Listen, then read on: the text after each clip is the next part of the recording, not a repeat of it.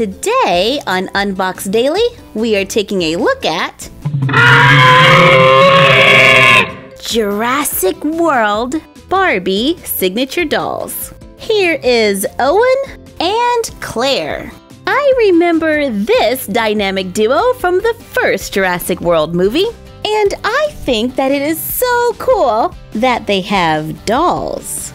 On the back of the box, you can see a picture of Chris Pratt, the actor that plays Owen, and at the bottom it says, Leading a quiet life, Owen learns that Blue is alive. Say what?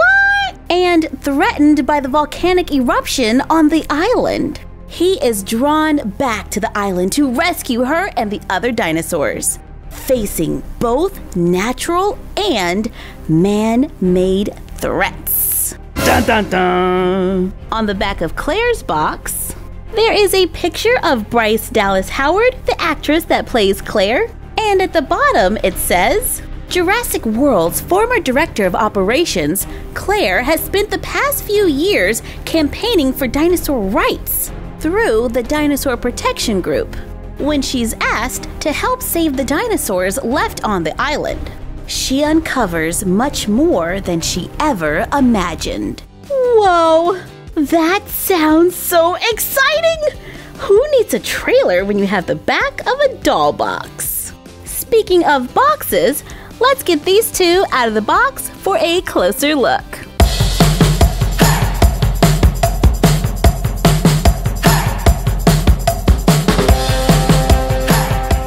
out of the box, they both come with a paper certificate of authenticity that certifies that your Barbie Jurassic World doll was created by designers and artists at Mattel. They also have a doll stand so you can display your black label dolls.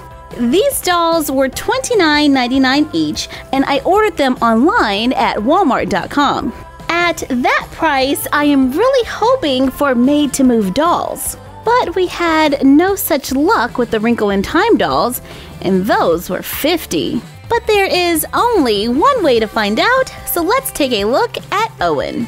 He is wearing a khaki vest with faux pockets. Out of the box, the pants, shirt, and vest are all kind of pinned together. And I'm thinking that's because the shirt is a little short. It looks like it stops right at the edge of the pants. Yep, that's why. I wish the shirt was about half an inch longer. But the vest and the shirt are two separate pieces, and the shirt velcros in the back. Right there.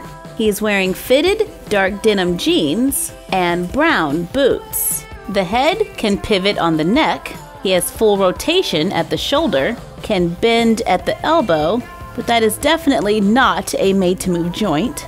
And there is rotation at the wrist. There is rotation at the hip, he can bend at the knee and ankle. So he is fully articulated, it's just not a made to move body. But he does have rooted hair and painted facial hair.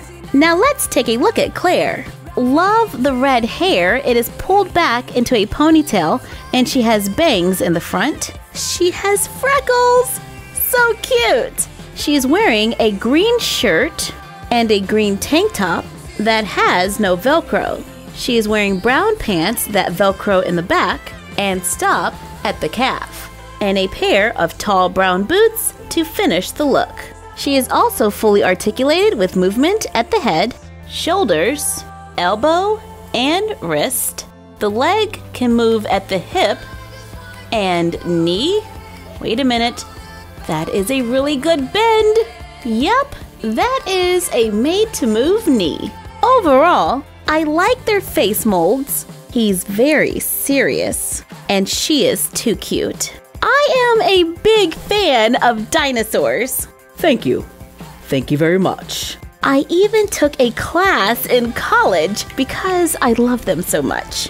So these two were a must have for my collection. But seriously, these two should have had made to move bodies. Come on, man.